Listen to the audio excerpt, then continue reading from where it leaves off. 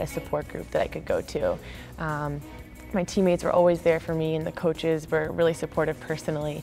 So it's just been nice to have that family outside of school um, and sort of like a home away from home. Being able to come in as a freshman and have advice from seniors who have been here for three years was, was great. And then also getting to know incoming freshmen as an outgoing senior um, and you know give them an advice in return has been a lot of fun. There's 40 girls that I came into the school, like having that support system immediately as soon as I stepped onto campus is always, a, it's a great thing and it makes freshman year a little less scary and makes senior year that much better because now I have all these girls that above and below me that I've really gotten to know. Friends of Harvard Soccer is great to us, they really are. We couldn't ask for any more. We went out to Stanford this year, uh, Korea this summer, uh, New Mexico before that, and I believe it was my freshman year, we went down and played uh, Duke and Wake Forest. And so every year we get to do something big, and uh, you know that's something I'll never forget.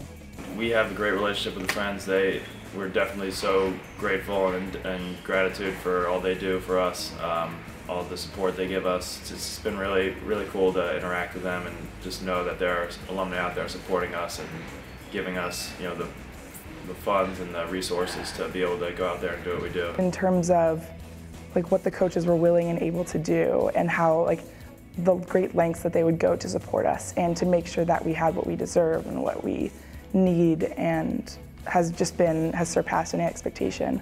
I think most importantly is the, the training staff over in um, over in the trainer's room. Uh, G does an amazing job of keeping us healthy and, and really supporting us. You know, he comes to every meet, makes sure you know whatever we need is done. If we need massages, if we need ice, it's all taken care of, and, and, you know the team wouldn't run without that. If the meets weren't here, then my parents could you know drive down to Princeton, um, but you know they were up in the stands every single home meet, waving their pom poms, uh, and it's just nice to have those faces in the crowd.